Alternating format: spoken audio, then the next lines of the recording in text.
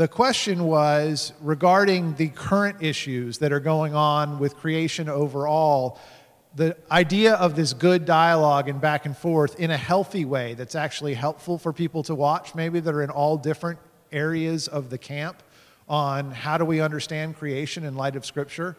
Uh, the question was Are there examples that people could go read of the healthy back and forth of dialogue, of trying to sort through hard issues that aren't obvious?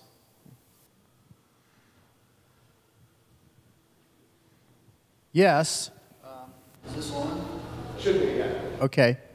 Um, I think I'll try to bring it down to brass tacks. Uh, for, for, you know, if I go into a, a, a seminar on, I don't know, um, on um, uh, selling your house or, or, or buying a Medicare supplemental policy or whatever, you know, there's people in the room that know a lot more about it than I do. I feel like a dummy, but I want to listen to them and, and figure out what makes the most sense. So, lay people on this issue, I'll, I would, if I were taking that same attitude, what's going to help me and make the most sense of it? I would recommend that you look at a couple of places where you can find people with different viewpoints presenting their viewpoint and then defending that viewpoint against criticisms of those who hold the other. Okay? And then if you want to think for yourself what makes the most sense, I can't tell you what ought to make the most sense to you. I can only say, well, here's, here's some ideas well explained. What does make the most sense to you? And can you also understand why somebody else thinks that makes more sense? Say, so you have to have a little bit of uncertain, a little bit of open-mindedness in the sense that you can understand why somebody else thinks differently, and then, and perhaps also a sense of conviction about what you think makes the most sense. So if that's going to be the attitude one would have toward this, then there's, there's a number of places one could go. But one, one very effective place to look at this might perhaps be a recent book from Zondervan on four views of um, creationism, evolution, intelligent design, I think is actually what it's called. Mm-hmm. But there's four different authors who present four different perspectives on this. All four of the authors is a Christian. And, but then they argue with one another in the course of the book, as well as explaining their own position in their own words. So that might be helpful. For a reformed audience such as this, i I'm assuming a primarily reformed audience, there's an older book that might be very helpful that's more narrowly reformed in the sense that all of the authors are reformed in their theology. Um, that's a book called The Genesis Debate. If you have a telephone and take it out, I can help you find it easily you want to look for the one where the word Genesis is spelled differently than normal. G numeral 3, N numeral 3, S numeral 1, S. In other words, 1 and 3 are embedded in the word Genesis, replacing the letters E and I. Okay? So it's about Genesis 1 to 3. And that's a, that's a book where there's three views presented none of which is a view that accepts the validity of common ancestry of humans with other animals. All of them are viewpoints that are non evolutionary in that sense. But they do argue about how to understand Genesis, ruling out human evolution. How do you understand Genesis on some of these other issues? That might be helpful uh, for people here. Actually, those, um, if you haven't seen them before. In terms of a more general answer on those, uh, you know, where do you see healthy dialogue? The four views, there's sometimes five views. I believe some of the four views books have as many as six, perhaps, so the counting is not always our best thing in theology. um, but uh, the, the four views books are a really interesting place to do that because they'll choose topics and the answers will generally be coming within, um, depending on how narrowly you draw your circles, generally within evangelical close to evangelical authors on a variety of different topics, uh, including there's one on the soul that takes up this topic, which I believe is a five views book. uh, that takes up this topic of the brain and the neuroscience research and, and how that is going to play out. Uh, that, that book is already out there as well. So those books can be very helpful on a large number of different topics. To be able to see people trying to be thoughtful, um, uh, but disagree, thoughtfully disagree. All right. Um, I lost Sean again.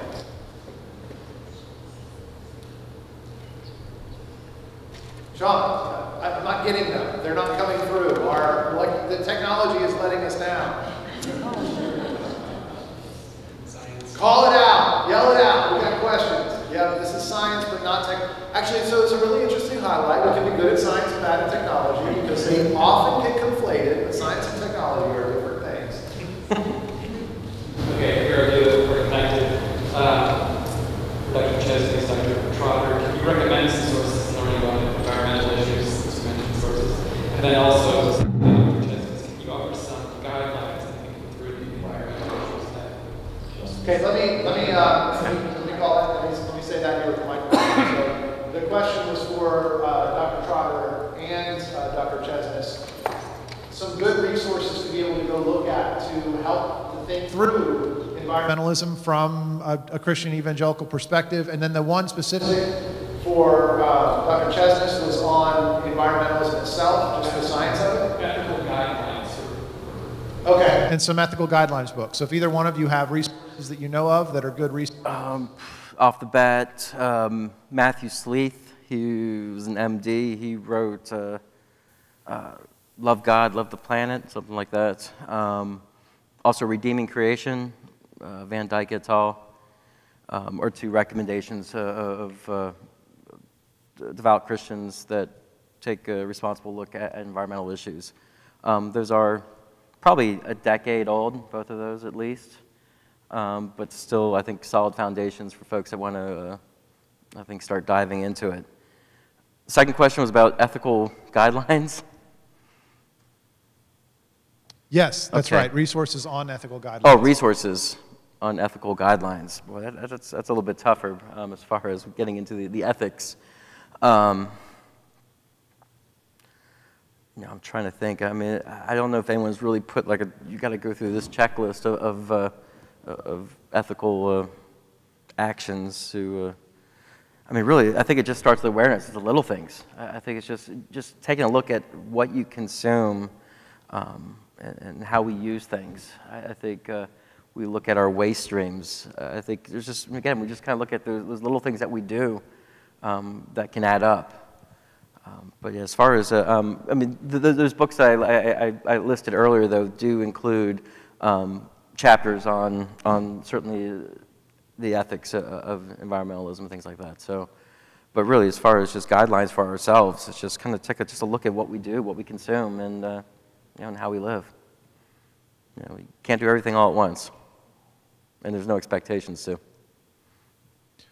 Larry, you indicated that this was something that was a topic that you considered to be important. I don't know if you have resources so much as personal experience, but if you've got anything that you'd like to add, I'd love to hear from you as well. Um, pastoral resources, perhaps, that, that are on this topic where you've read, even the ones you disagree with, because I think you're, there is this interesting, you, what I, from what I was hearing, this dichotomy between what you feel like is the message of the gospel and then these other extras that have gotten dragged in um, and taken for granted. Maybe some things that help people to de, uh, deconstruct some of that. One of the, uh, the magazines, uh, news magazines I read is The Economist, which is a British magazine. And it is classical liberalism, which in the rest of the world means something different than liberalism in the United States. Because liberalism in the United States is left wing, conservatism is right wing.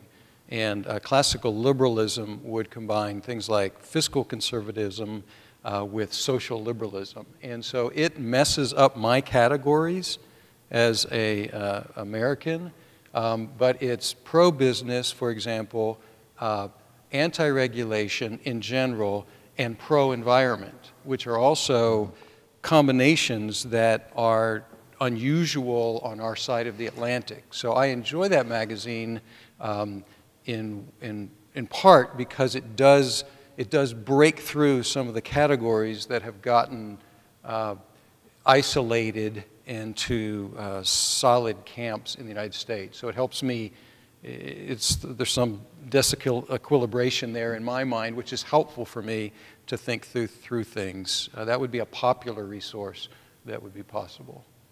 Okay, very good. Let me, actually, I'm going to switch sides and then you can just grab Lucina's microphone if one comes to you. Um, so apologize for some of the technical issues today. Um, Sean, if you've got something. This would be for Dr. Uden. Uh, there was interest in your uh, referring to you know, significant brain surgeries that would not impact a person's consciousness or concept of self. Um, can you uh, provide any alternatives to that? Like, can you think of any examples where that was dr uh, drastically different, where it did impact the person? Yes, actually, so neurology, psychiatry, um, uh, rife with examples of cases of brain damage that significantly alter a personality. There, uh, many of you might have heard of this famous case of a railroad worker named Phineas Gage, who was working and uh, was had a tamping iron and you know put it into a rock and it exploded through his his frontal lobe and went all the way out the other side of his brain. And this was back in the 1800s, and everyone said, well, Phineas was a great guy. He would always come to work on time, an upstanding citizen. And then after this accident that sort of severed right through his frontal lobes, he became, uh, he didn't show up for work. He was doing uh, unsavory activities in his off time. And, you know, he, he changed. He became a different person. So there, there's clearly, you know, the, the brain basis of our personality and behavior. Um, if you've seen individuals with frontotemporal dementia, they often show a lot of inappropriate behaviors as well, that they might have um, you know, change their personality as a result of this brain degeneration. So yeah, yeah, I definitely didn't mean to imply that you know changing the brain doesn't change who you are. But what's interesting is that the mapping is is not completely worked out at this stage in, in neuroscience and medicine. So um, and not every individual uh, shows the same consequences of the same exact disease. So someone with frontotemporal dementia might, um, might not exhibit any unusual behaviors, but another individual might be completely uninhibited and start swearing. So there's a lot of room for individual differences there. There's a lot of, um, you know, uh, genetic susceptibilities that alter how certain injuries might affect uh, the outcome. So, um, so it's it's very curious. Like you, you know, if you look in the medical history or even in recent work, there's a lot of curiosities, like these case studies of this happened to this person and they changed. But at the same time, you never hear of the ones of, well, this horrible injury happened to this person and they didn't change a bit. So, so it's um, it's it's quite a, a complicated picture. Uh, just to follow up on that, I, I I think part of the question may be, and I vaguely remember there being a um, some brain states like this, are, are there cases where people seem to be able to be functional in some meaningful functional ways, but, the con but consciousness is not active in a way that we would, so, so that, um, uh, I, I, this is a long time ago, but I vaguely remember a form of epilepsy that at times could lead people to have sort of long periods where they could still functionally drive a car, but they were actually not conscious, and, and I don't, so I don't know if this is right or not, but I think this is what the, the question is pointing out. Are there kinds of surgery that may affect the consciousness itself without necessarily having taken away the other forms of functioning as a human being that we would identify? And that may not be possible. I don't, I don't know. I mean, consciousness I know is obviously critical to us being able to function. So I think that may be where the question is. Sounds like a, a zombie or. yeah, I mean, I suppose that would be sort of what it was, right? Yeah, no, um, yeah, I think in the, the levels of, of consciousness, um, I mean, it's not that it's so easy, but it's easier to say, well, this person is completely in a vegetative state, or they're in a minimally conscious state, or they're in a coma, and there's certain measures that um, the doctor will take to say, okay, you're, you know, if your your pupils aren't dilating, for example, you're in this stage. Uh, you're not responding to sound, you're in this stage. You're, there's there's various sort of benchmarks to um, assess levels of consciousness, and this is what happens if you are in a hospital. They'll say, okay, you're in this state, that state, and the other. Um, and sometimes it's um, there. I mean, you can imagine all kinds of dissociated scenarios, like you're sleepwalking. You're you're uh, walking around even though you're you know you're dreaming, some, you're acting out your dreams. That would happen in a case where normally your muscles would be inhibited during sleep because that's, that's sort of the process of what sleep entails. But if your muscles don't get inhibited, sometimes you can act out. And, So it's a state where you might look like you're acting like a conscious agent, but really you're you're you know you're in your own head. You're, the visions that you're acting out are, are, are dreams. So there are there are really interesting levels of dissociation and, and behavioral distinctions that we can see, but.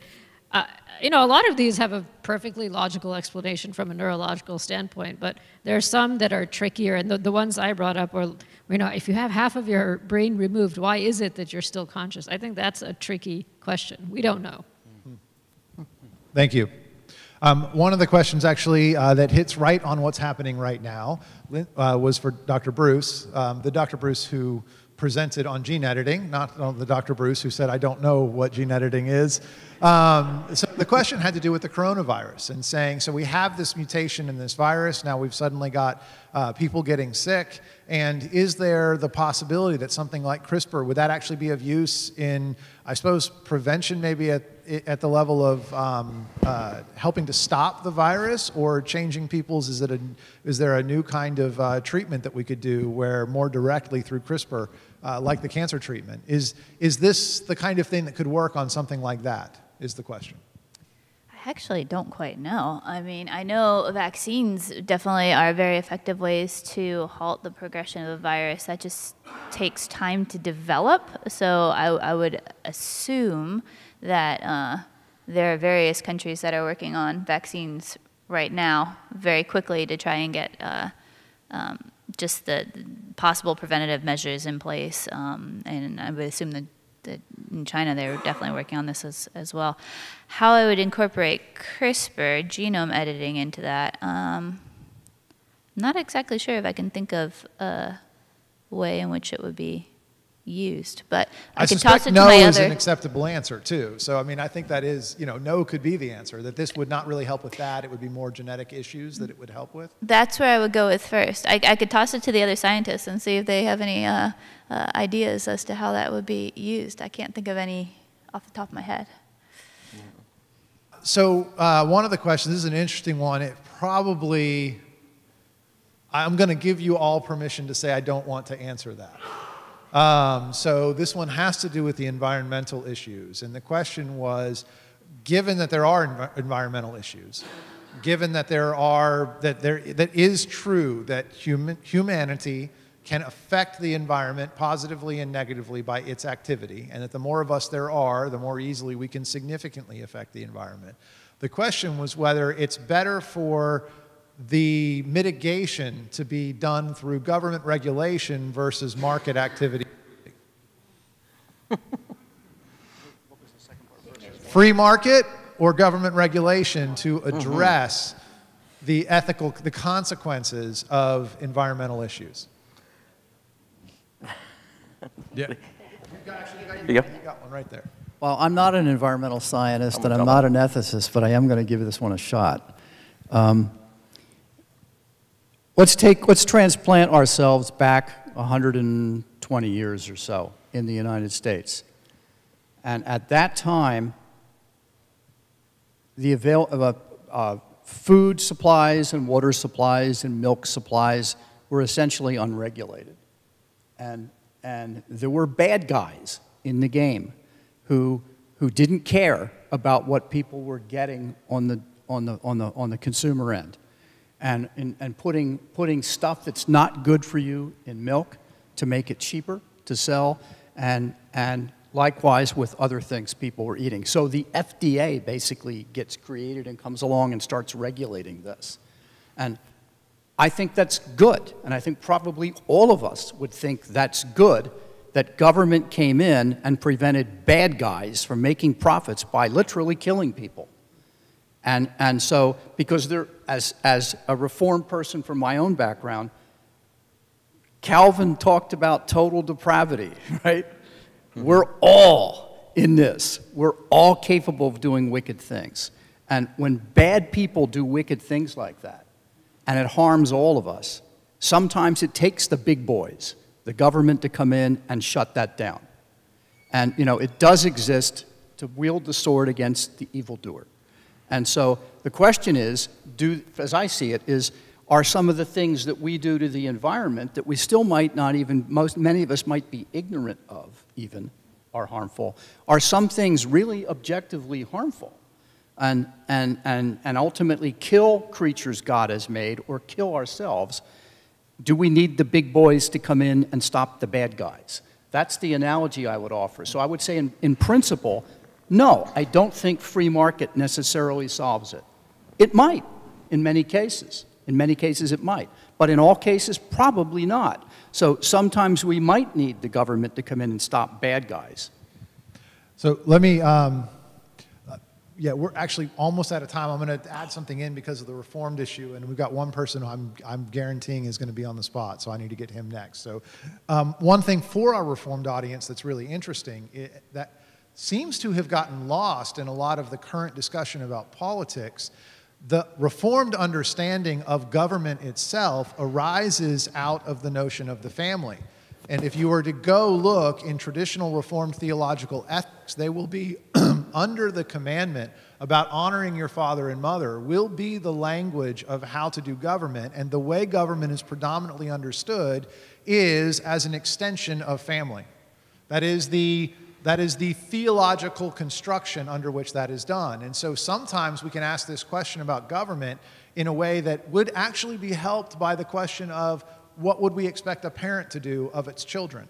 Um, and that is part of the understanding of what government would do. And so, th- with that framework, it can be actually a little bit easier than when we treat the free market and the government as if they're separate forces. So, it's just something to think about in terms of the way the Reformed tradition has done that. Now, let me, we're there on time. So if you, how quickly can you go? I'll go fast. All right, go fast. You know, but I think also the uh, free market will help bail us out, um, especially when we think about energy and energy innovation. Uh, the rest of the world is investing in, renewables, and that, that's basically going to be the technology of the future. Um, in this country, we are doubling down on, on old technologies but I think the free market is going to drive it, and the price of renewables are going down because of that. So um, I think the free market is going to play a role. It may not benefit us in this country in this phase, but um, it, it, will help us with our energy innovation because we are going to have to power the future. Yeah. Okay, so last question that I just sent in to myself um, for Dr. Bruce. Uh, when, when you talked about the response to the gene editing, and you tossed back some really important questions on gene in terms of um, in terms of people in the audience that are thinking through, but I, I, don't really know the gene editing very well either. I heard a bunch of letters, and I'm not really sure how to compare uh, zinc and CRISPR in terms of what it does, except that one's more expensive. But now, what do I do when a real person walks in that really does well with the? So the jellyfish one, if you haven't seen it, that jellyfish DNA has been done to some fairly high-level mammals could not make themselves glow in the dark right now with that same process that you know of? The guy who's trying the dogs has not yet succeeded. He so hasn't succeeded it is with it dogs. is a lot tougher than just you know. So frogs like that. is that as high? I've, I've seen the glow in the dark frogs, but I thought. Pretty sure I've seen mice. Mice? Yeah. Okay, so we have glow in the dark mice. Pigs. So yeah, yeah, I think. I think transgenic pig pigs. Uh-huh. And pigs. Yeah. Yeah. Uh, I, I, you know what? But if get I the little yellow my. I don't even have to turn the lights on to see my bacon now. This is a better world. That is a better world. what, what do you do when somebody comes in and they have, they have genetically modified themselves? Like, what is the first reaction that you'll have to them pastorally? And where do you go? What do you do? Because people are trying to do it to themselves, and we don't have good resources on that. Escape from having to answer any questions, so you're really putting me on the spot. I my, thought you um, weren't. My uh, initial reaction would just be hope that you're married to a Christian scientist, and you can ask her. um, failing that, um, show some cognitive modesty. Don't act like you know if you don't. And this is kind of echoing something that Tim said to us earlier. If you don't know the answer, don't pretend. Um, if somebody comes to you and is asking you for advice about their glowing child, you know, don't, don't act like you know that if they still want an answer, um, I would look for good resources. And I think that includes scientists who are devout, who actually care about taking Scripture seriously, who care about people being created in the image of God, um, but who have actually looked at the issue more than you have. And I think that's the beauty of church settings where scientists feel like they're being included and involved in what's going on is you will have those resources hopefully as a pastor or maybe you'll know someone who does. So that, that would be my, my answer. If you can't be married to a scientist, hopefully you know one. All right, very good. So we are at the place on time. Did you want to add something in one more time there? Or was I was it... just curious. I mean, what would be the difference with someone coming in between genetic enhancement versus someone with chemical enhancement, taking smart drugs, or mechanical enhancement, say with cosmetic surgery? I mean, why, why draw the line genetic enhancement? I, I think the interesting part that will get played out, this is my guess theologically on that, is that the way we understand, particularly now, um, those traditions that treat the descent from Adam as being a very significant part of being human and being in Adam and original sin, I think that there's going to be questions of how much can we change our DNA from what we got from him and still be human in the in him sense of being human. So it'll be similar to the discussion that's going on right now about what, what does has to be, have to be true about origins compared to just the evidence of the genetic diversity that we have in the room right now, and some of the questions about how that came about. But I think it will have a special form that will be a little bit different than the mere chemical question because of the, because of the importance of that concept of descent um, in the understanding, and, and, I would say particularly in the Reformed tradition, I think it'll play a big role because of the understanding of the importance of descent in terms of both the being in Adam and the being in Christ. Even though that latter one is by adoption, and adoption plays a stronger role, I, I suspect we'll start doing more adoption language later in theology, but this is where I'm now speculating about what will happen in terms of some of the replies. Can I just say quickly? I had a 15 year old student in the audience today who asked um, if the twins who are genetically modified were still created in the image of God and how you would tell that. Yeah, and I was so, so excited he's asking that question. Right, the question comes up right then when, when this wasn't really um, so much when I was dealing with ethical student or ethics, ethical students uh, sometimes, but always ethics in the classroom. Um, one of the questions was if we genetically modify rice, right, golden rice, if, if all of the rice got cross pollinated with golden rice that was directly by human intervention, has rice gone extinct? Right? Is rice extinct if there's nothing left that didn't get changed by human beings? And uh, it's just a, it's a, it's a, it's meant to be a thought provoking question, but it's very significant when you start thinking about being uh, the image of God and salvation. So I think that's where it's going to come in. So let me, uh, if we can all thank them one more time. Uh, we're.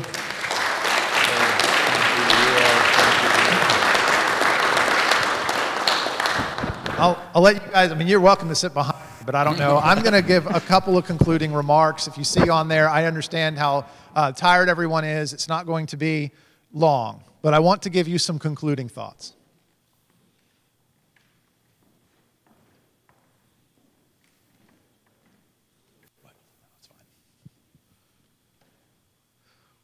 I have one exact quote that I'm not going to quote exactly because of the lack of podium, which is quite fine. It's not worth the purposes. If you want to go, um, at, when I talk about it, if you want to go to the reference, if you go to Calvin's commentary on Titus, verse 13, you'll find the reference that I'm talking about here. It actually hits on a couple of themes uh, that we've got. So as we, as we think through this, the, the certainty is, the certainty is, that unexpected questions will come up for us out of science. Regardless of your position, if you go back to the very beginning and all of these different views of how they ought to be interacted with or what we ought to do with them, or whether it's just because scientists are trying to ruin religion, which hopefully you will see is not the case, based even on the scientists that you've met today. But weird issues will come up. And I'd like to leave you with three thoughts under the framework of the idea have no fear. Have no fear. The, the, the three thoughts relate first to the community of people who are alive right now. The, the second will relate to the community of people who have been alive in and out of the church throughout history. And the last piece of this will relate to God Himself. So let me first say this. When something new and surprising and challenging comes up, we will not immediately have good answers almost ever. Not only will we not have good answers almost ever, but if you stick six people in a room with a question they are unprepped for, that they've never thought of before, and that doesn't strike them as something they were expecting, you're quite likely to get at least five, if not six, completely different answers. The community, as it gets a question for the first time, is not going to be united. Something else about it is, in that probably at least five and maybe six answers, none of those will probably end up being the best answer that even those six people could come up with.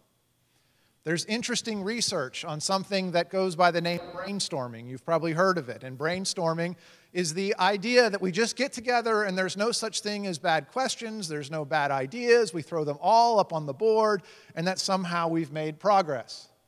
The interesting research shows that you almost get nothing good out of that ever. That one of the best ways to have a bad result is to tell everybody that all of their ideas are good. They're not, and neither is yours. But that there are companies that are remarkably good at ending up with good ideas, and the way they do it is by saying, say what you think we should do, and then arguing vehemently against each other. Now, that can be done angrily or that can be done friendly. Friendlyly. That can be done with a good environment of we're trying to go together to the right place, and bad ideas won't help us. Or it can become angry and pejorative and defensive. One of the ways in which these discussions about science don't work well in the church is when we draw the wrong umbrellas, open the wrong umbrellas, declare the wrong fence lines, however, the analogy will work best for you on who's in and who's out.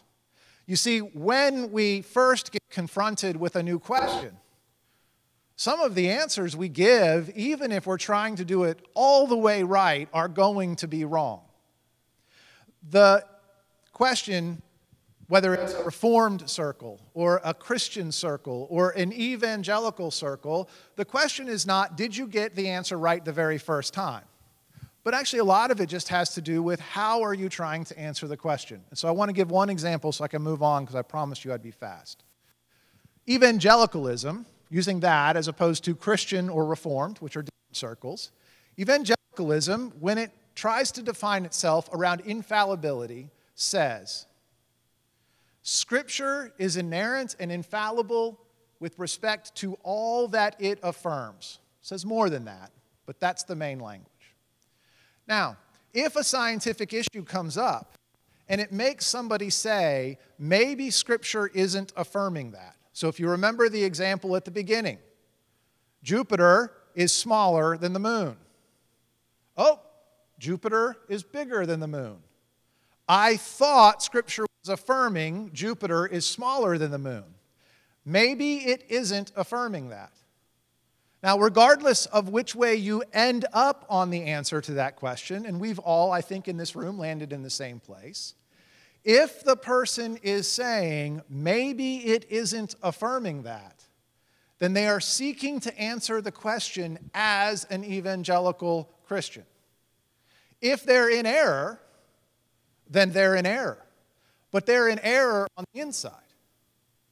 Now, if instead they said the scripture does affirm that Saturn is smaller than the moon, so scripture is stupid and wrong, or just wrong, then they're answering from the outside.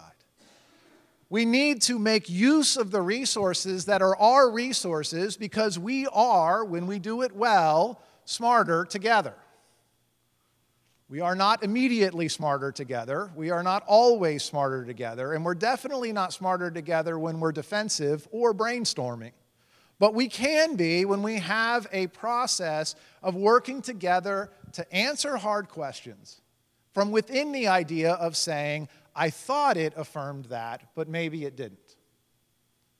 So, in terms of the community today, that's a resource. I don't have to have all of the answers participate in the conversations, and I want to expect that my first answer will probably not be my best answer, and even my best answer may be completely wrong. And if it's about the church and not me, that's okay. The second resource, though, is the historical resource. This is what's so interesting to me. When I found that language in Calvin about this argument about Saturn, that helped me. That is the fight about Genesis and science. That is such a big, critical, controversial fight right now. Calvin, having already worked through one, and me being able to bring out an example in the Reformed tradition, and being able to blame Calvin, which I like because I learned it from him. Because if you read Calvin, he very often says, Don't argue with me, argue with God. He said it. And here I can say, Don't argue with me, argue with Calvin. He said it, but he said it because he thought Scripture said it too. But Calvin is the one saying, Clearly, God has accommodated his language. Clearly, he has. Calvin is saying that. He says clearly he's accommodated his language because there are places where God uses accommodated language. In fact, Calvin uses the language of lisping. God lisps to us because we are not capable of understanding that even when he is speaking all the way propositionally to us, our limitations are such that we cannot fully comprehend the glory of God. And so God lisps in Scripture. He lisps and he accommodates.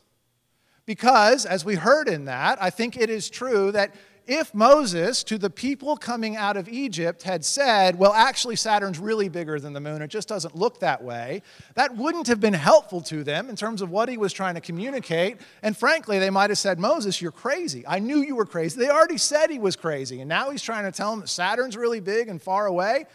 And by the way, you're moving really fast and spinning and rotating. That wasn't the purpose. Now, again, this is not me.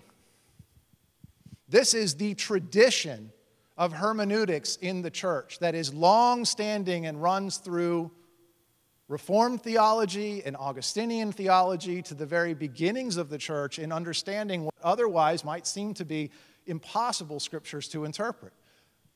The problem that people have is the real problem of it can lead to me saying Scripture doesn't affirm just about anything. And slippery slopes are what they are a signifier that we need to be careful, but not an argument.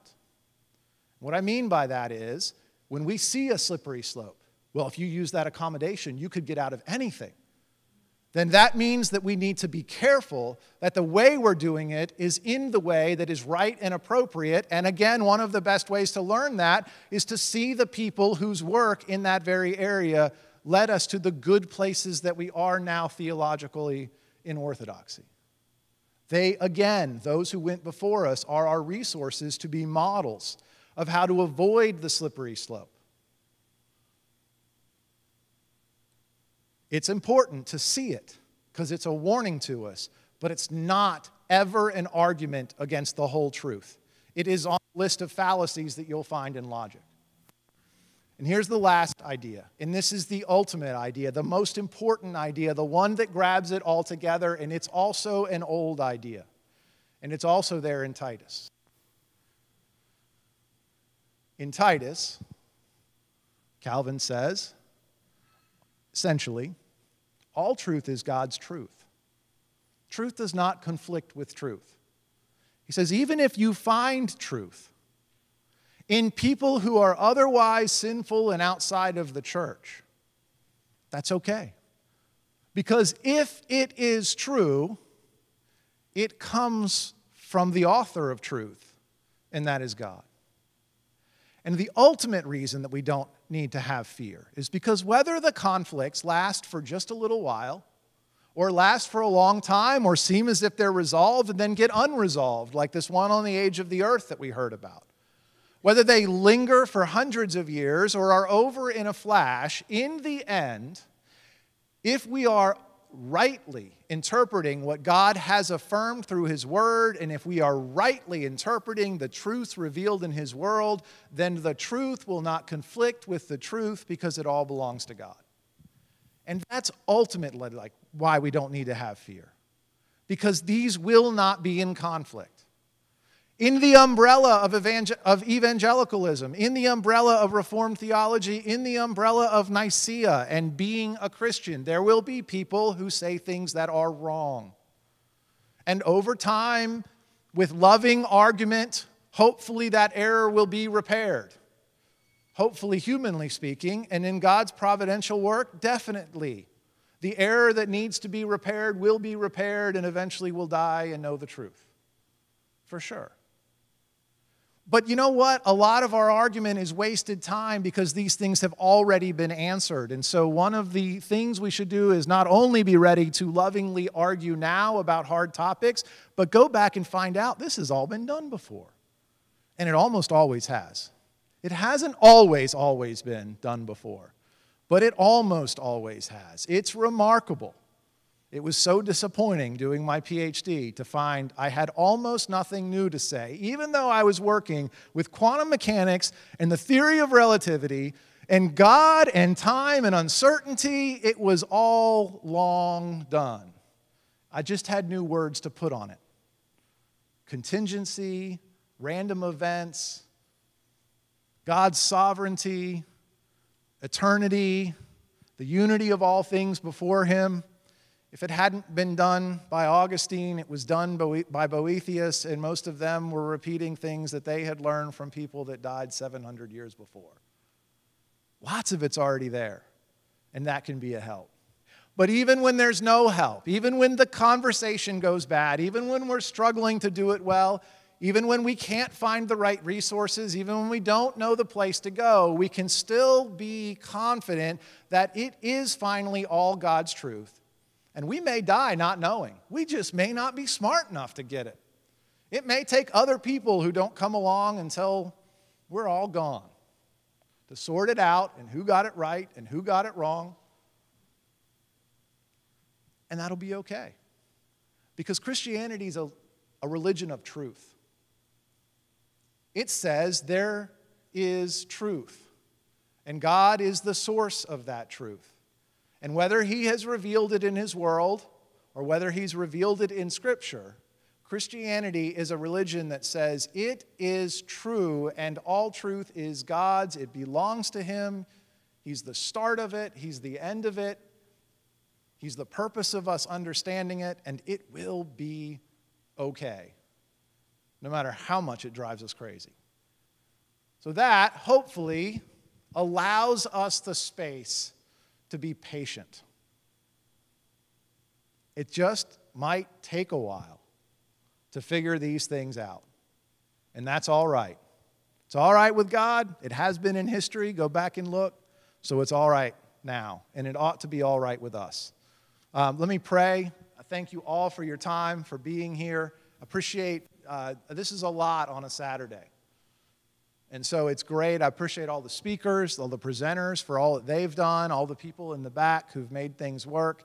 Um, a lot of people, a lot of work to make this happen. Those of you that, that joined in remotely, thank you for your time as well. Uh, let's pray. Father, I pray that through work like this and that through this seminary, you would do, you would do the work that we have been called to, which is to train up the men and women that you're calling into your service, to help them to be able to well, to help them to be able to serve well, that they can be people who carry the gospel out, speak clearly, and speak truth, and declare the good news that you came, that you took on true human flesh, that you really lived, that you really died, that you really were resurrected, that you really are the hope for us having resurrection, that you made this world, that you created all of the regularities and rationality to it, that you made us in your image, that we could see you in the world and in our brokenness when we walked away, in your word that you gave to us. Lord, that we would be people of faith and truth, bring that good news to those who don't know you, and disciple each other who do know you, that we can be made more and more into your image every day in hope of our resurrection and perfection to come. In your name we pray, amen. Thank you all so much. It was really great to have you for such a long day. Thank you.